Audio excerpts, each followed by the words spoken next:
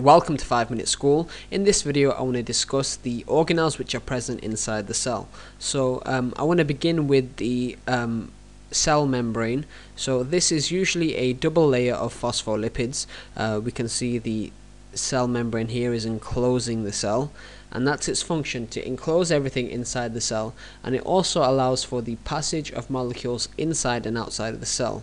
Now the cell membrane is usually dotted with um, membrane proteins which allow for the passage of molecules inside and outside of the cell to um, move either in and out of the cell. And there's actually quite a few videos I've done previously on the um, type of transports to go inside and outside of the cell. So check my previous videos and you'll see a good video there which would help you out if you're confused about that now, following on from this, we have a nucleus which contains the cell's genetic information and it's organized into chromosomes and it's considered to be the control center of the cell. So here we have um, the nucleus here.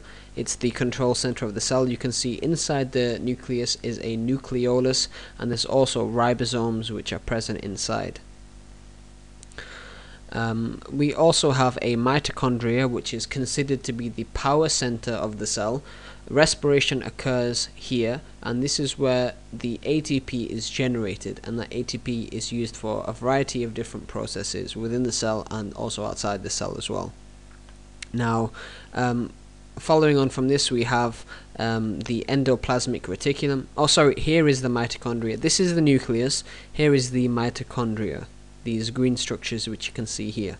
Now uh, the next structure is the endoplasmic reticulum and there's two types. You can have rough endoplasmic reticulum and smooth endoplasmic reticulum.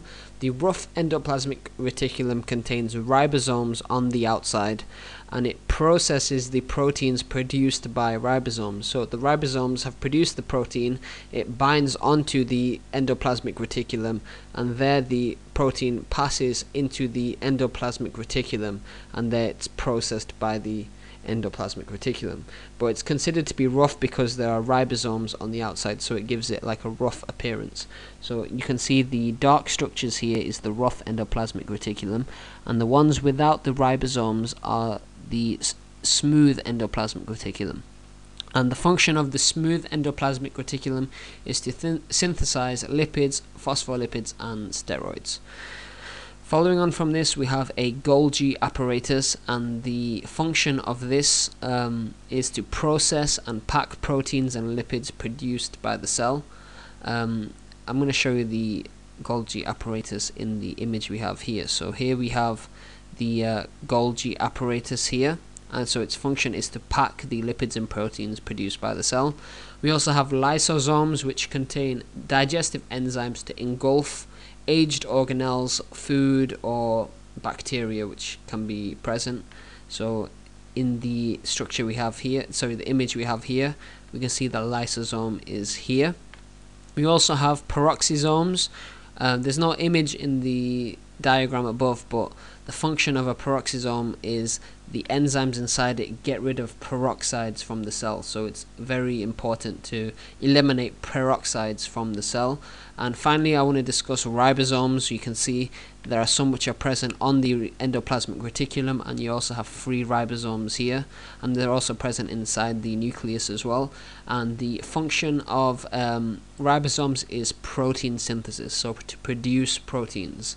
Now, that's just the basics of um, the functions of each organelles.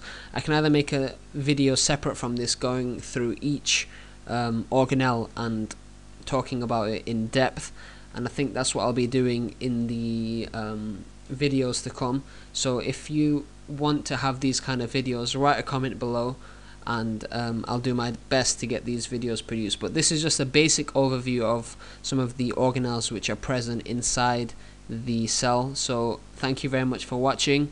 Um, make sure you subscribe to the channel and uh, yeah if you have any questions write them below and I'll do my best to get back to you. Thank you